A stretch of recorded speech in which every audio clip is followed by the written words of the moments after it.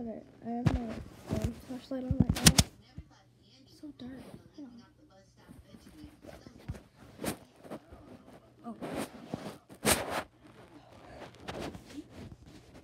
So, my dragon that I made like a year ago, but I haven't posted it on YouTube, and I just figured out how to make shorts recently, so that's why there's only a few videos with it.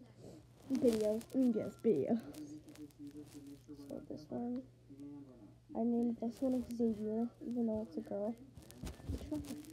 This one's Xavier. Um, the jaw isn't attached, so I could literally just anytime I want.